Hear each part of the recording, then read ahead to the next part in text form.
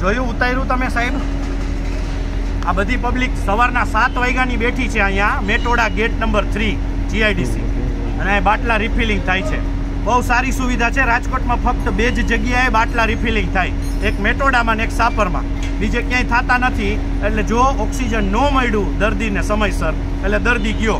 આ મોદી સાહેબની ને રૂપાણીની બહુ સારી સરકારની નીતિ કે પબ્લિકને ઉચ્ચતર લઈ જશે. આ બધાય સાત વાગ્યાના બેઠા છે મારી સાથે. બાટલા રિફિલિંગ કરવા. મને લાગે છે હું રાત્રે ઘરે નહીં પહોંચું બાટલા સાથે તો અમારા પેશન્ટ રહ્યા જશે અમારા પેશન્ટ ત્યાં સુધી ભગવાનના ઘરે પહોંચી જશે.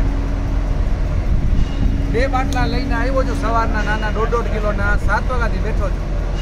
અત્યારે આ લોકો ના પાડજે આ લોકો એમ કે છે કે હજી છ વાગે વારો આવશે. તમે કે બાટલા અહીંયા મૂકીને જમવા જવું હોય તો જમવા વયા જાવ છ વાગ્યા સુધીમાં બાટલો રિફિલ ન થાય. તો આમાંથી ઘણાના પેશન્ટ એવા હશે કે જે ક્રિટિકલ હાલતમાં હશે. એને શું બાટલો નહીં મળે? તો એનું શું કરવાનું? વિચારવાલો અને રાજકોટમાં બે જ જગ્યાએ પાછું ઓક્સિજન છે. અને હમણાં ચૂંટણી હોય તો બધું ફટફટ રેડી કરી નાખે આ લોકો. આ રેડી ઓલું રેડી કહેવાય આપણે ગ્રાઉન્ડ રેડી ગ્રાઉન્ડની અંદર ઓલા એસી ડોમ નાખી દઈએ, પ્રચાર કરવા માંડે પબ્લિકને બોલાવી લઈએ એસટી બસો આવી જાય, એને કરવું હોય તો બધુંય થાય, પણ આપણા માટે કાંઈ નહીં. આપણે આપણા જીવના જોખમે આ બાટલા રિફિલિંગ કરવા આવવાના, આપણા સગા સંબંધીઓ માટે.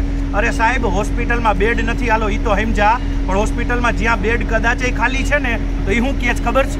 એ કે તમારે બેડ જોતો હોય ને તો ઓક્સિજનનો મેળ તમારે કરવાનો. તો એક કામ કરો બધું અમે જ મેળ કરી દઈએ, તમે કાંઈ ન કરતા. બનાવી નાખી અમારા ઘરે જ હોસ્પિટલનો વોર્ડ બનાવી નાખી છે. ત્રાસી ગયા. બે હજાર બાવીસમાં જો મોદી સાહેબ આવશે ને બે હજાર બાવીસમાં તો શ્વાસ લેવાના પૈસા લેશે એની ગેરંટી આપું. ગેરંટી.